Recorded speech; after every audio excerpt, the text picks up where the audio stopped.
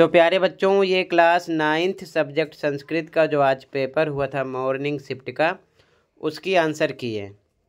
ठीक है तो अपने आंसर मैच करते चलो। वन बाय वन करके जितने पेपर आज हुए हैं, सबके आंसर अपलोड हो जाएँगे। क्लास एट का सॉल्यूशन अपलोड हो चुका है। चैनल पर विज़िट करके आप देख सकते हो। ठीक है, थोड़ी देर बाद class eleventh and class seventh का भी सॉल्यूशन अपलोड हो जाएगा। टेंशन नहीं लेना, बस चैनल को सब्सक्राइब करके रखो ताकि जैसे अपलोड हो आपको नोटिफिकेशन मिल जाए। खंड का, यहाँ से स्टार्ट है, एक पदन उत्तरत जैसे कि फ़र्स्ट में मेरू प्रदेश है, सेकंड में छात्रा, थर्ड में छात्रेभ्या, इसी प्रकार पूर्ण वाक्य उत्तरत देखते चलो अपने आंसर और कमेंट सेक्शन में ज़रूर बताना कि आपने कितना स्कोर किया। ठीक है, वीडियो अपने दोस्तों को भी शेयर कर दिया करो ताकि उनकी भी हेल्प हो सके और अभी तक आपके जितने पेपर हुए हैं, सबके आंसर अपलोड हैं। कमेंट में लिंक मिलेगी, देख सकते हो। तो मैच करते चलो अपने आंसर ओके